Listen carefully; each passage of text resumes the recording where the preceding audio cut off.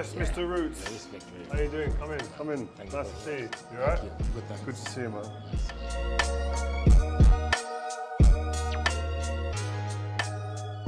Well, Levi, listen, thank you for coming along. Listen, everybody knows about Mr. Levi Roots, what you've done. Um, but I'd love to just start by just talking about your childhood and, and how it all began and how you got to where you are now. Yeah, thank you very much for inviting me, Rio. It's, it's been a pleasure to come and have a chat with you. um, yeah, you mentioned about my childhood, which is a great place to start. You know, take me way back then. I had a beautiful childhood. I, I really did, especially as a young child. I grew up in a place in Jamaica called Clarendon, which is one of the leafier parts of, of Jamaica in, in the 60s back then. It was the time of the Windrush generation was coming across to the UK my parents was one of was one of them who thought that well great we'll go to this new country and and start to send for our kids one at a time leaving the kids at home and my story is the same as many from the Caribbean which My the dad is the same. Absolutely, and the grandma played a great part because it was the grandmothers that was looking after the children while the parents came to UK and then sent for us one at a time. Uh, and every year I would see, as a 10 year old, I would see um, a suitcase arrived, a brown, you know, remember those brown suitcase arrived. Um, and then I, I kind of kind of gathered something was happening. But I was a bit young, didn't realize that, you know, everybody was leaving, leaving me as the youngest. And um, I got to realize that when I saw that suitcase and I saw my grandma in tears, I realized that one of us, one of my brothers and sisters was about to leave. And it went on for many years while six, So your six family, of us yeah, so your family were getting separated. get, getting separated, um, one at a time every year. Until finally I came up from play one day and saw the same scenario, brown suitcase, grandma in tears, and didn't really get cocked on what was happening, that it was finally my turn to leave this beautiful woman that was everything to me. Because at the time I was she was like your mum? She was like my mom, dad, the cat, the dog, and everything in one. Um, because I'm the youngest of the family, I didn't really know my parents when they left. Oh, wow. Um, I think I was probably about four or five when, when my mom and dad left to come to the UK. So grandma was everything until the age of 10. Hmm. So really everything that I knew then was from this beautiful woman that was teaching me about food and about the stuff that how hmm. she cooked and you know and these great relishes that she did, which now we call sauces, but back in those days it was hmm. these great relishes that she used to do. So yeah, grew up in Clarendon, beautiful part of part of Jamaica, and having this lovely woman as my guardian to look after me. But when finally my time came and I had to you know rip myself away from her and, and come and join my family in, in, in England, that was when the problem started. Yeah. Is that when the nightmare really started from this beautiful place in Wow. Clarendon? So what was the nightmare? What was what happened? Well, it was being ripped from my grandma for one, and as a child, you don't have a choice then whether or not you know you want to leave that scenario. You know, you're ten, you you you do what your parents tell you to do. If I had if I had a choice, then I would have remained back there.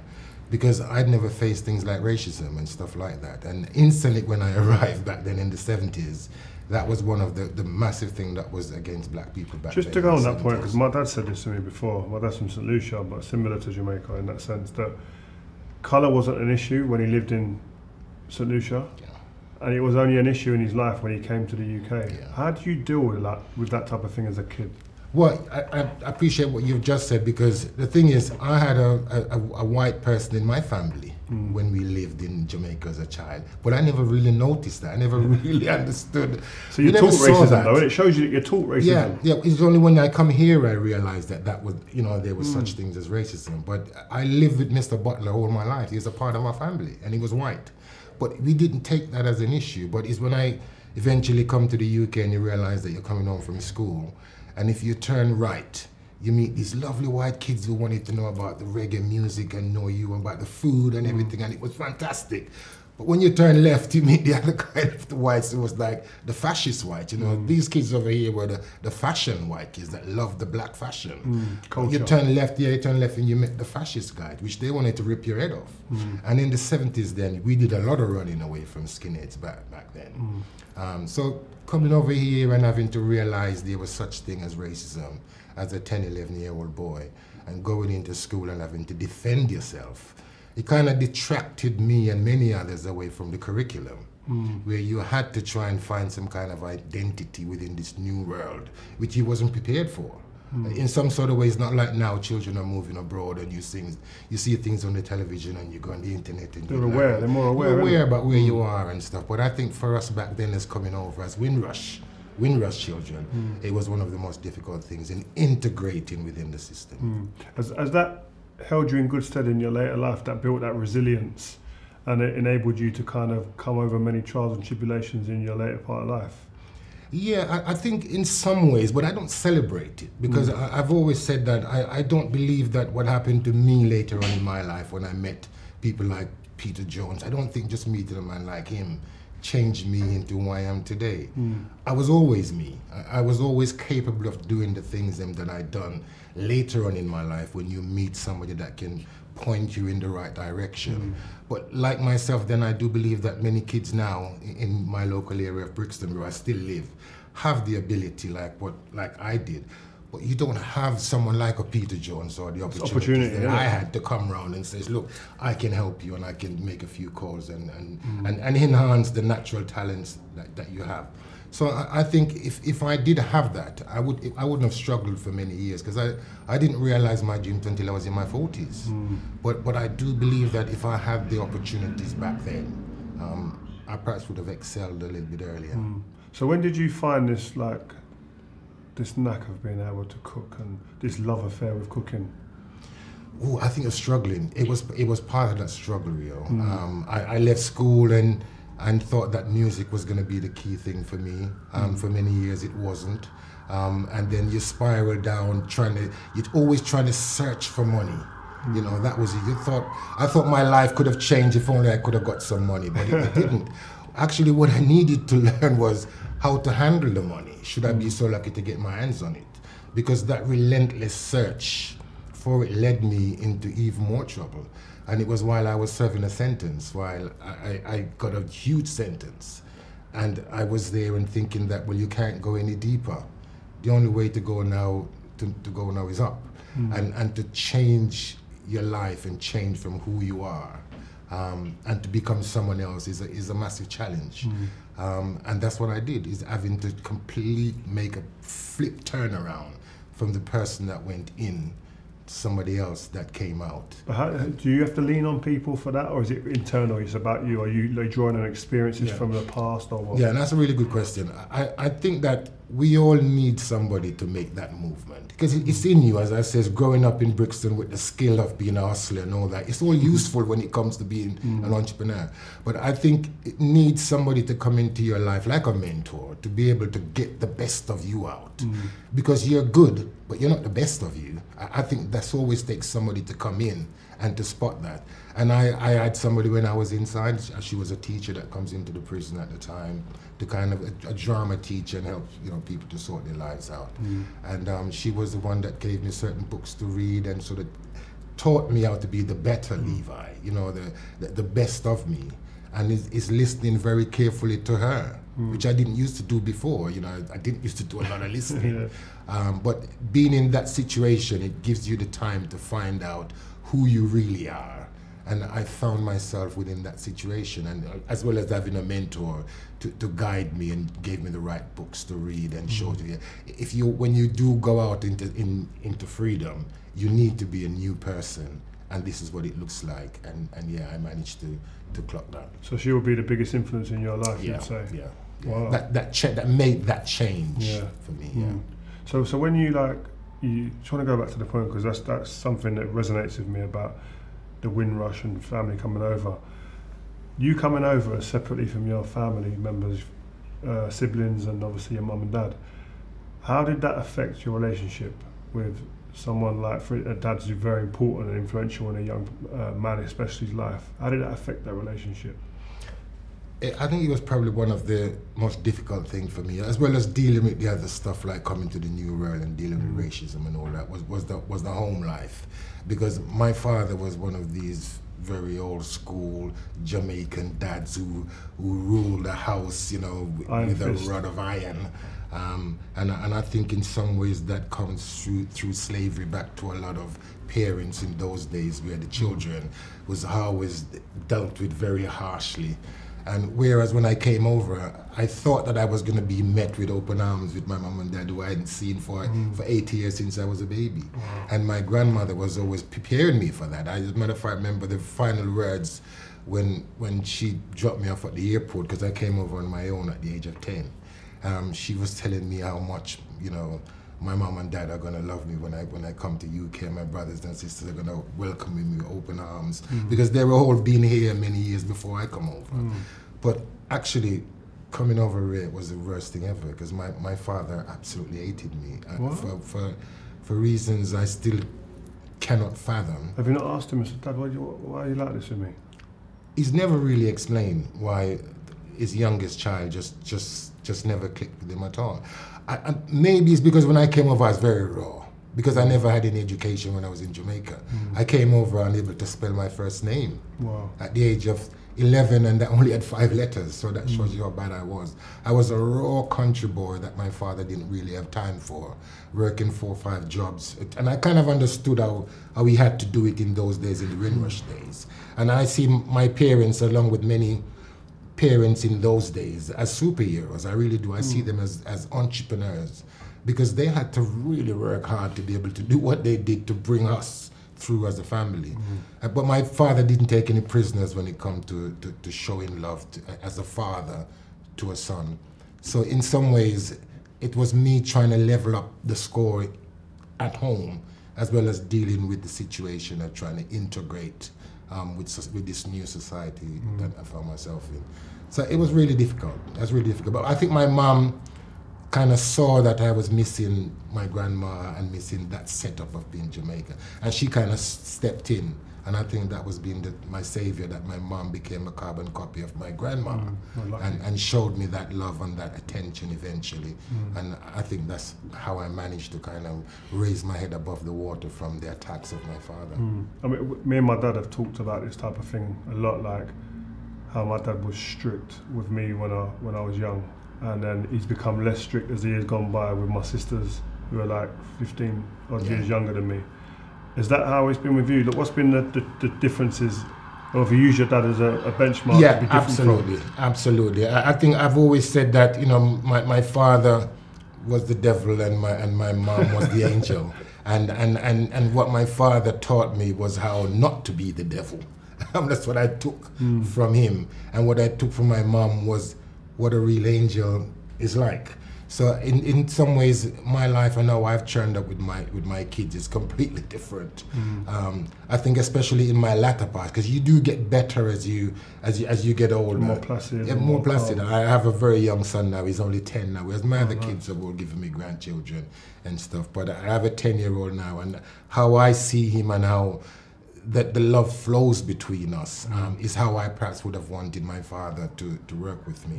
Um, but yeah, now I, I put all that mistakes, which I had a lot of from my father, I now use that as feedback. You know, and so I, in some ways I can't, I don't rejoice it, but I see some reason in having all my past, um, whatever it may be. Yeah, you try and use the negative as a use the positive. negative and as a positive, yes. So now I, I have an expert. I'm an expert in now not to do it Mm. um, because I've had enough of that, and now I have an absolutely beautiful. I have the best relationship with my with my young son Christopher as possible because now. I know how to do it, and I actually also now or now know how not to do it as well. Mm. It's important. I mean, we are is ma- madly about love as well, and um, inclusion and and to hear you when you it's being humble enough to go. You know what? There were mistakes made. I've made mistakes, but I'm going to rectify them, and, Yeah. someone will benefit. I.e., your, your your son, which is great to hear. which is uh, it's, an important part because that's on the way to becoming what I said about being the best of you. Because you can't be the best of you if you can't be honest about yourself. That is the first true, thing. yeah. You, you have to face who you are and tell yourself the truth. You know, and be comfortable with them as well. So you, you can actually speak about them. Because for years I, I couldn't speak about my father. Uh, I think the first time I spoke about my father was actually on um, Desert Island Disc when I did my.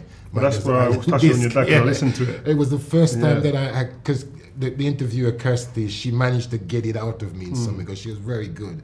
Because normally, as a, as a, again, as a Rastaman and as a Jamaican child, digging deep in those kind of issues is not somewhere where we too like to go Mm. um, in in public, and keeping it in was was always the way. But I think on that show, when she managed to get me to talk about him, it, it actually became more like a freedom for me now, Mm. and I, I kind of free up. It, it's freed me up talking about these issues as well. No, it's important. I think talking is so huge. I think, like you say, for for, for men, that machoism, men don't. It's not normal for us to Yeah. talk. Like I, I used to have this with my dad, and I, I never knew where my dad stood on a lot of things because he never. He was a quiet guy, but stern and hard. But now, as he's got older, like you say, it's that ability to learn from what's gone on Yeah, to yeah. make yourself a better person. Yeah, in that sense. absolutely. I, I was asked earlier on what, what is love, and I says love, love is hugs, and it's the best way I can explain Mm. that because now me and my son we're always hugging each other, which I can't remember ever that my dad ever hugged me. You know, whatever the feelings were, but that's not a way that he was as a, as, as a man Mm. towards his children. So now I flip that switch. And now there's nothing better I love more more than the hugging. this Mm. you walk boy. in the house and you start to get a it's, hug, it's it's the most amazing thing that there is. I- Yeah. I say love is hugs, man. Yeah, Right, because you're gonna feel the love. Talking of love, I know. Listen, food. That's one of my Yeah. my loves and one know it's one of yours. Just tell us some people who who may not know. I'm sure most everybody knows, but just give us a little insight into how your life changed when you went on to Dragon's Den, and these people you met who kind of helped change your fortune as well. Yeah.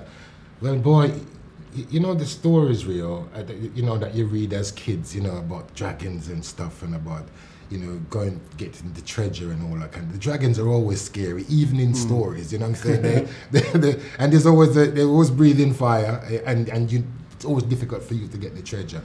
So when I heard about this Dragon's Den thing, I was at an exhibition um, in the Shires because in those days I actually got driven out of my local Brixton with the sauce because nobody wanted to buy it. They were saying that Levi don't sell us no sauce because we can all make it.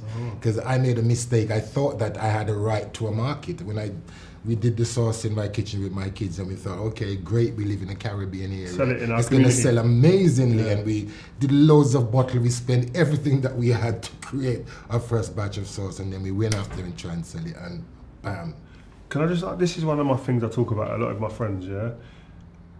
Do you find that it's still sometimes the Caribbean or the black community, we don't embrace each other enough in terms Yeah, of to, to, yeah. to build up each other. You see with Chin- Chinese or with Asian or with Indian, even more now with Polish, except they build communities within whatever country you go to. There's an Indian area, there's a Chinese area, etc. Yeah. We don't manage to do that and support Yeah, each other. Absolutely. And- What's and- the reason for that? You? Well, I, I, I think everything steers back to how we were indoctrinated, real, and, and I really believe that that's how it is. I know people who said this a long time ago in slavery, and you don't need to connect everything, but I think it all leads back to how you were indoctrinated as, as a people, as a race.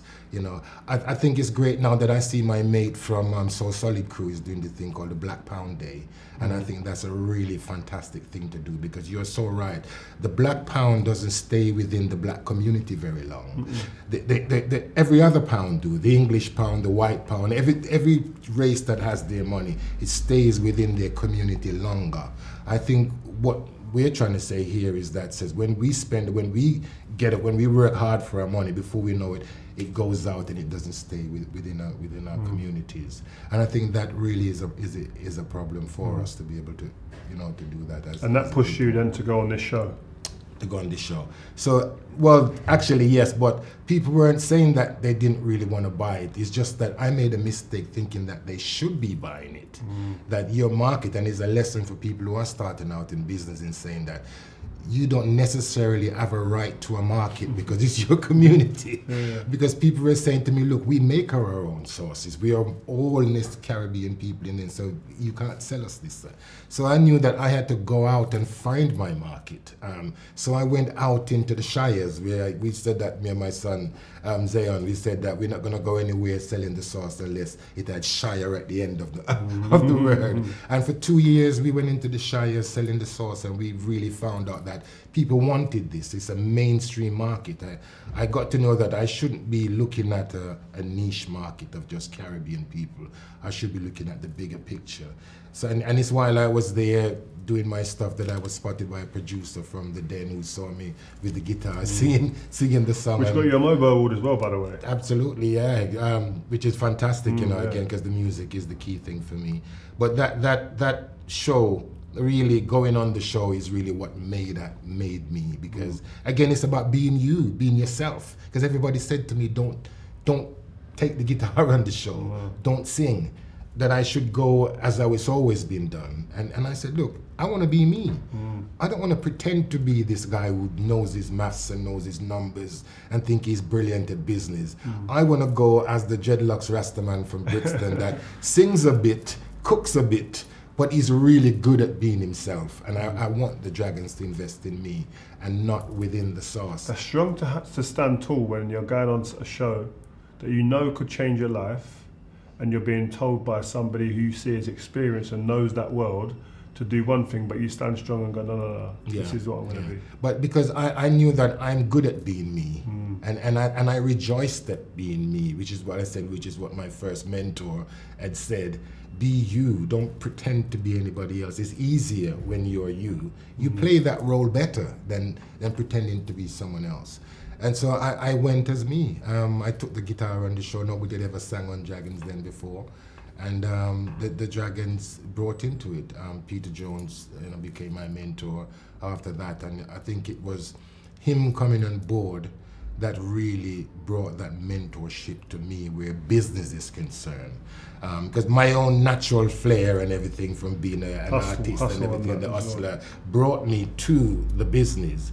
But I think it's always about what you do after that. Because mm. it is about the long term thinking. So finding your utopia or, or, getting the slaying the dragons and getting your golden fleece doesn't mean it ends there. Mm. Actually, the journey actually only begins later on because it is about long term, particularly when you're talking about business. How, how, quick then did you go from that show then to getting in shops and oh. having books and being everywhere? You go into any kind of yeah. shopping out. Yeah, it, it, it, was the fastest selling product in Sainsbury's. Wow. I, I'd, I'd done the feat of getting a phone call from Justin King uh, just weeks after the, the, the sauce was in Sainsbury's. Justin King is is the chief was the chief of Sainsbury's at the time, second biggest store in the UK. Um, and they called me up and said to me that Levi, your sauce is outselling Heinz tomato ketchup. Wow. my my answer was, Are you allowed to do that? Are you allowed to be a black Rastaman from Brixton? and your sauce is outselling the number one selling sauce mm. in, in the world. So how do you deal with that? How do you how's your head compute that and like stay normal, stay sane, or did you have a moment where you kind of flew off for a little bit and with the, with the fairies? I don't know if anybody noticed that I did flew off there, but for me personally, I, I, I think that my musical background is the only thing that kept me grounded throughout all this mm. because the fame came so quick it was it was fantastic in those early days just after and you show. can't just walk anywhere look how unique looking you look the, yeah. the dreads the colors again the style it, the it is about where you're where you're from mm. where you are now and where you're going is all about where you're from mm. and i think i i learned how to be this levi roots from a very early days even before dragons den i think my rastafarianism my, my way of life it's helped me to be able to channel yourself in a different way that if you didn't have some kind of practice if you're just a loose guy that don't have no religion or no creed of life or, or anything, you become very open to attacks and from people giving you things and you believing in things and that sort of mm. stuff. But I think when you have a clear function of something, it doesn't have to be religious. It could be just, I don't know, you, you, you like doing something and you, you stay very close to that.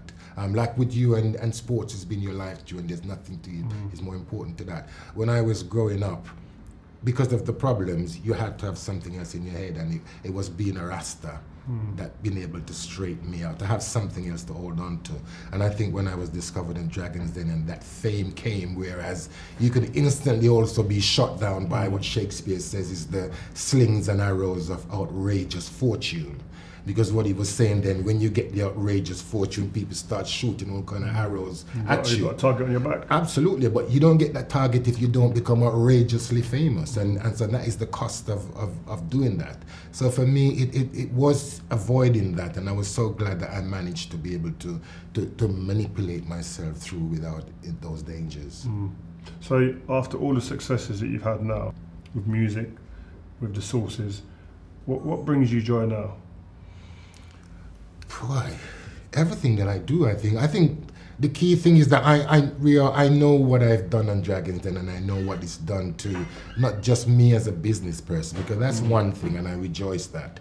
But what my appearance on the show and the sauce, which is now still one of, with the most distributed Caribbean product in the whole United Kingdom Wow.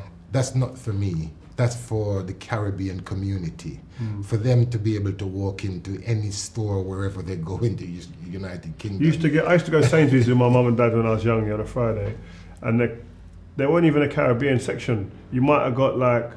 I don't know what used to be. There used to be a hot sauce Encona hot sauce, Yeah, maybe just in, on one top of the one shelf Yeah, in the yeah. corner. That that was it. That was really. it, yeah, it was it. Yeah. Now you got yeah. like you got a whole area for Yeah, yourself. All range, which is, is, is brilliant. And I said that's what makes me feel so proud, you know, out, out of everything, not the personal stuff, is that people of, of Caribbean um, are now very proud that, you know, something for them. As I said, wherever you walk, there's a Levi Roots product. You know, I've been in the deepest part of, in Scotland, I went to a place called the Mull of Kintyre, which is where Paul McCartney said about one of the most remotest places in Scotland that you have to take a plane and a boat and a ship and everything to get there. And I, I went there to do a bit of filming and lo and behold, I, I saw my sauces within within the store. And again, that That's makes pride, me innit? feel a sense of, of, of pride. So I think knowing that you're doing something not just for you, it's, it's, it's for the community or for, for the people. I think you gotta feel proud about that, and I think that's my, my proudest feeling that that's happening.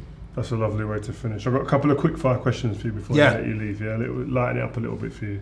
So, Levi Roots best meal.